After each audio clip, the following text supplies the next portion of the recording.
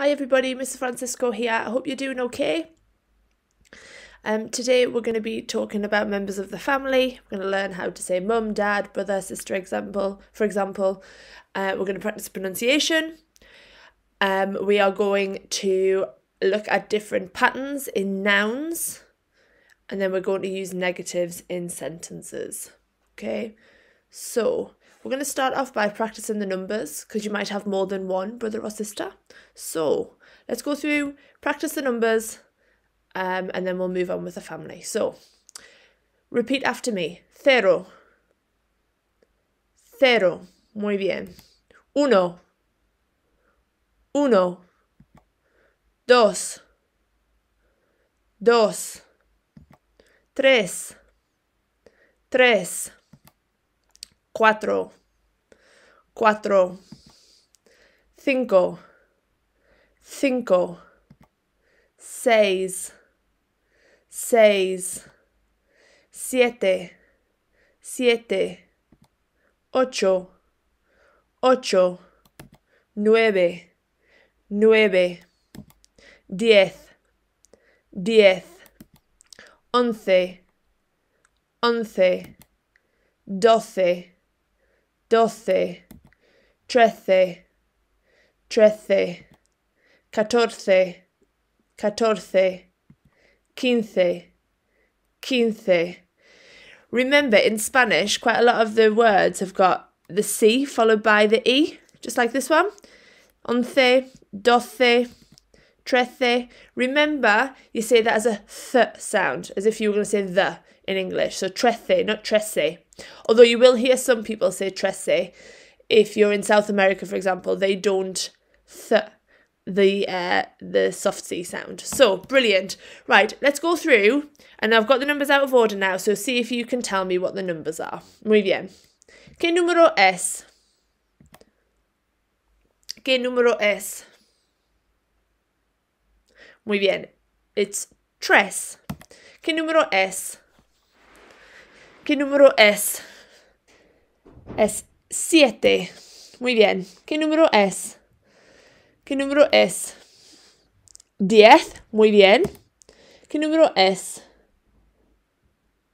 Trece. Muy bien. ¿Qué número es? Cuatro. Muy bien. ¿Qué número es? Cinco. Muy bien. ¿Qué número es? Es uno. Muy bien. ¿Qué número es?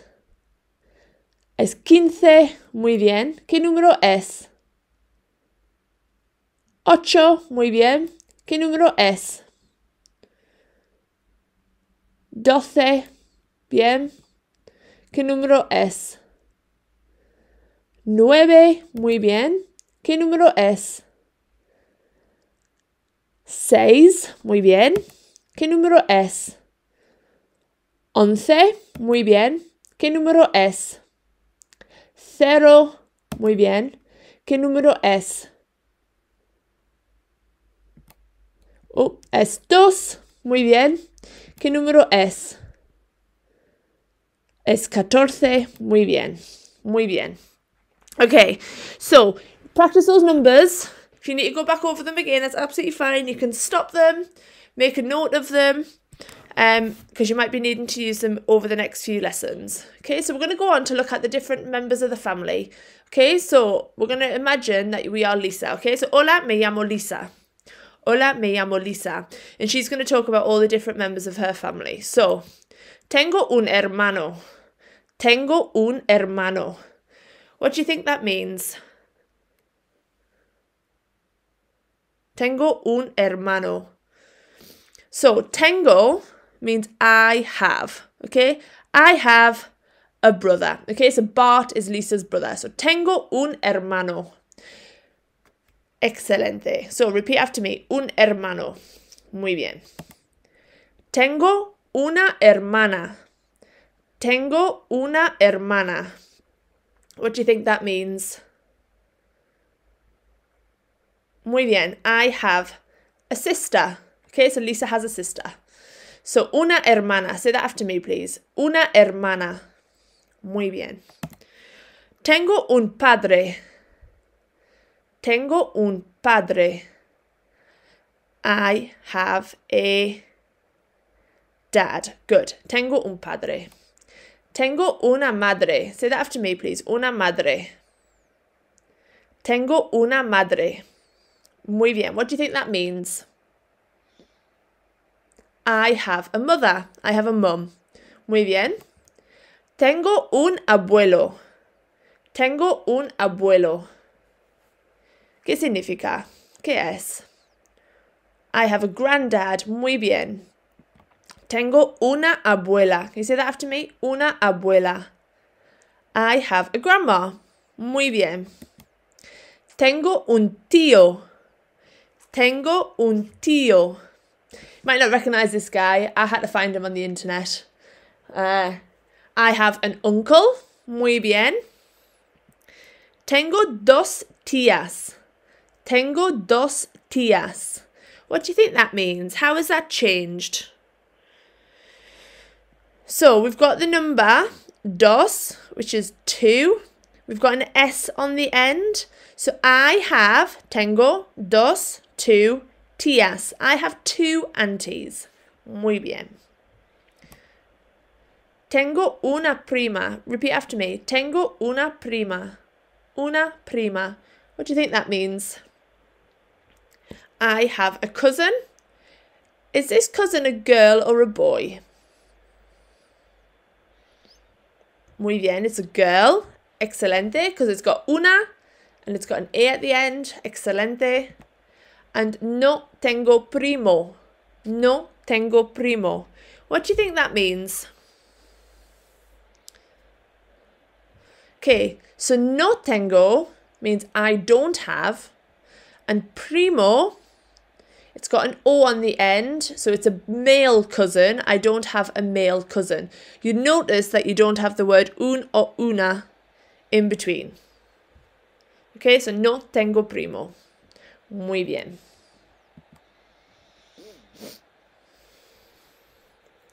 So, what I want you to do is have a look at them, study all the words, see if you can remember them. A lot of them are easy because You've just got to change the letter at the end and change un to una, like in un tío, una tía.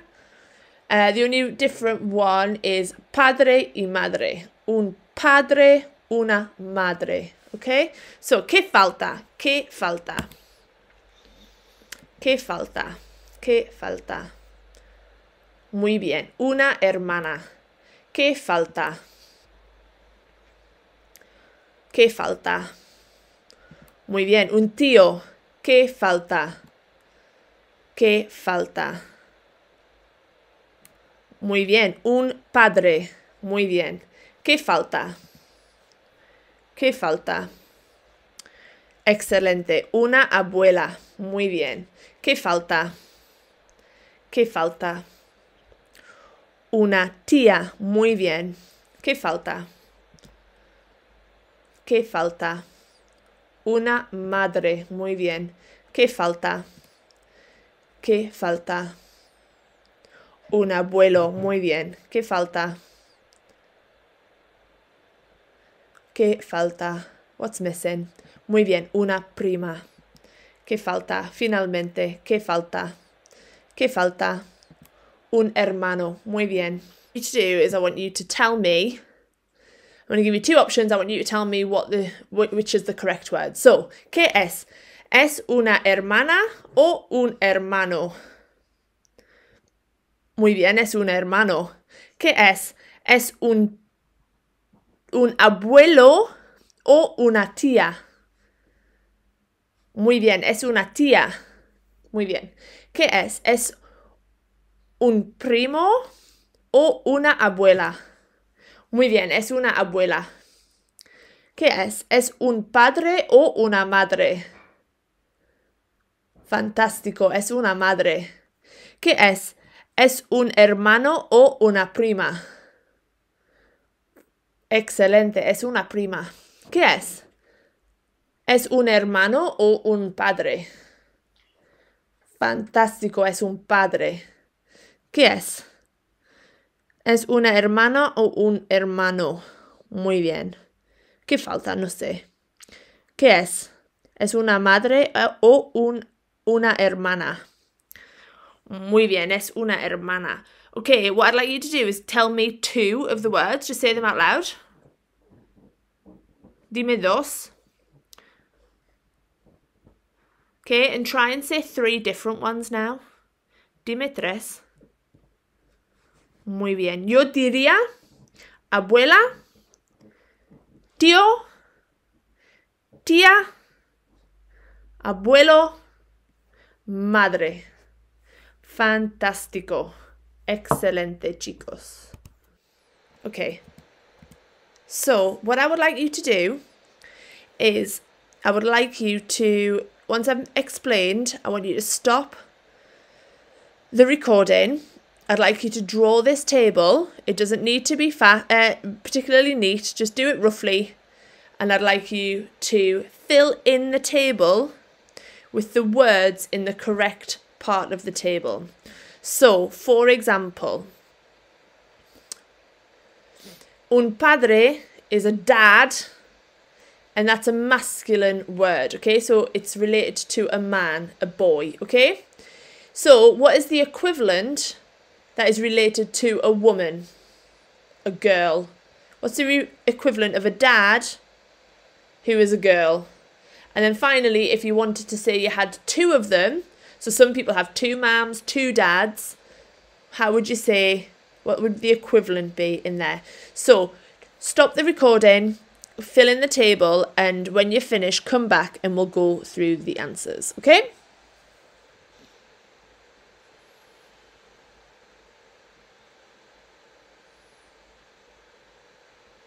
Okay, so you must have filled in the table, you've paused it, you've come back, so let's go through the answers. So, dos, we're going to put this one in the right place. So, dos madres, where do you think that goes?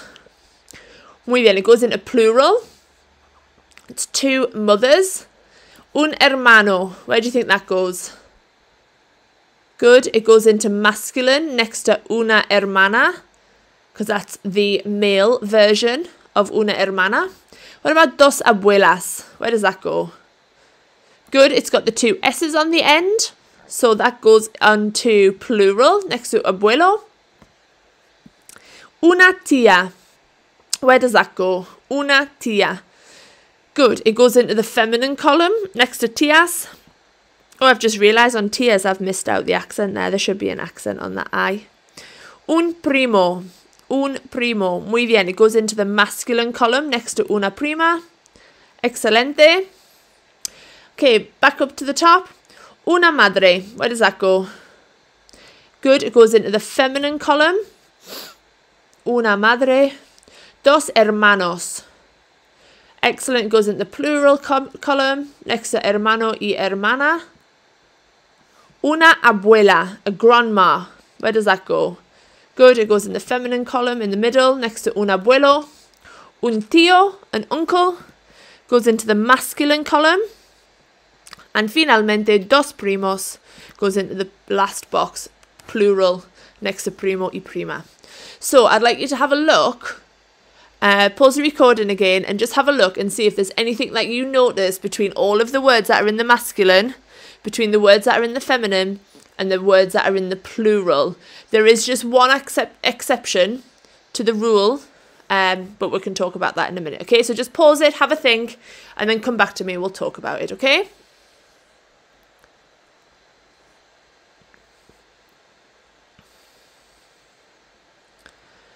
All right, so what you'll notice is that in the masculine column, all of the words, apart from padre, all of them end in O, okay? So in Spanish, if a noun, what is a noun again? A noun is a thing or a state of being, so a thing. So, for example, like a teddy bear, um, a car, a dad, a brother, okay?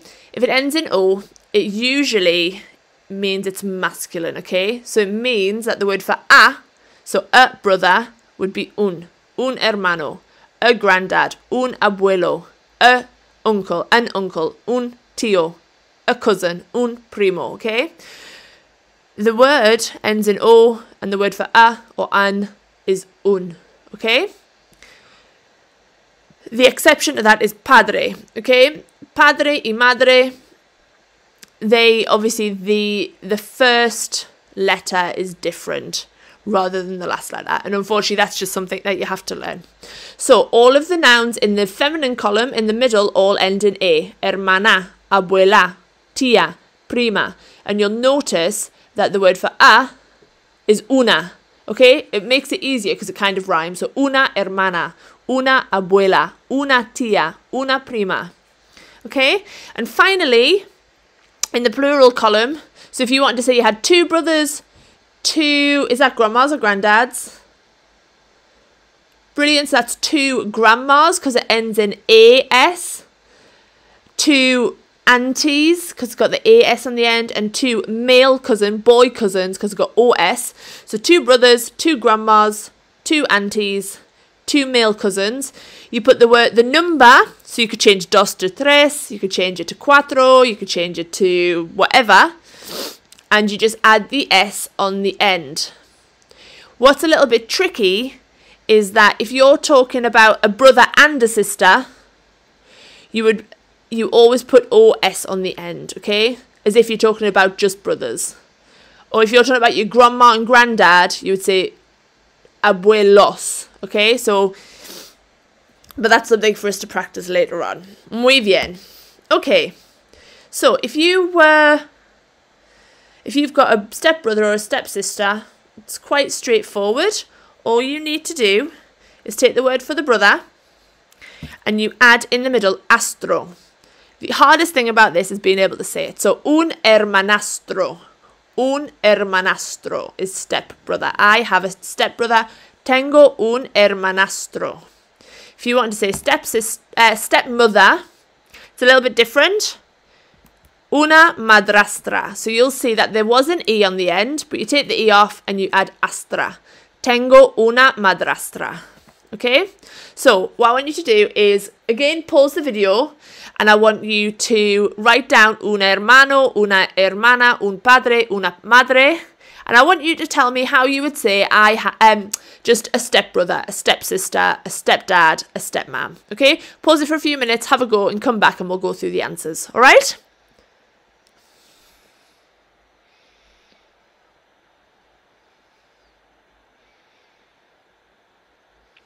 Brilliant. So you should have stopped it by now and had a go. So un hermano, we've got up there already, un hermanastro. Una hermana, stepsister, goes to una hermanastra. Un padre, stepdad, goes to un padrastro. It's quite difficult to say.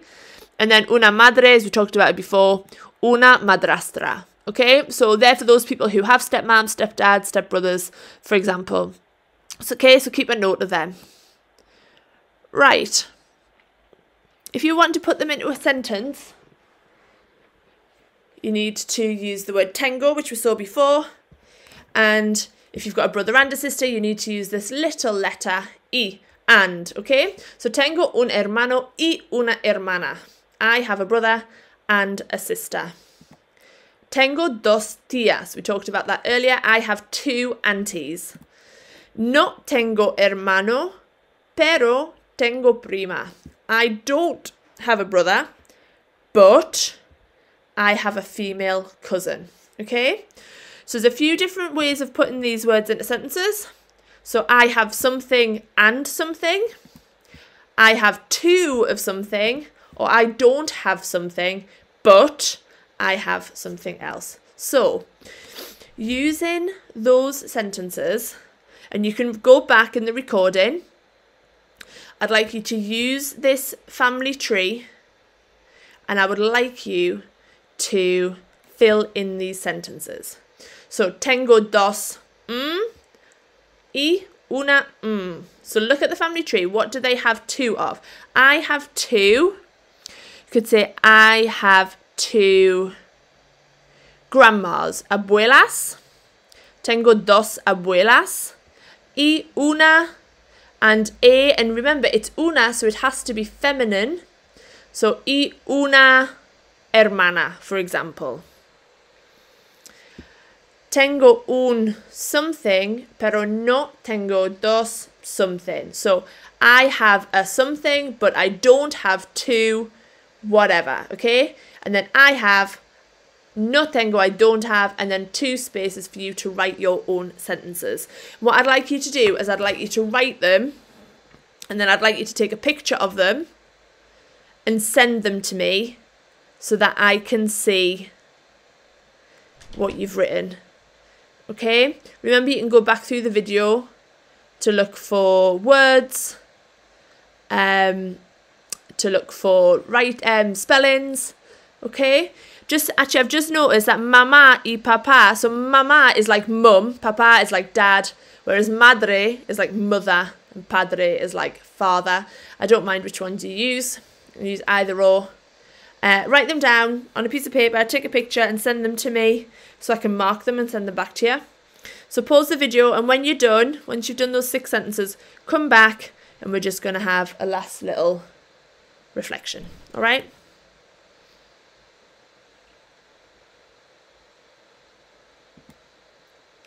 All right, so once you've finished those sentences and you've sent them to me, I'd like you to just have a think. Write down one thing that you already knew before you started this lesson. And then I'd like you to write down two things that you've learned this lesson. And then I'd like you to write down one thing that you're going to remember for next lesson. All right? If you've got any questions, let me know. I can answer my emails. Um, I'm on Google Classroom, so I can answer anything any questions. All right. Hope it goes all right. And I'm looking forward to hearing from you. All right then. Bye.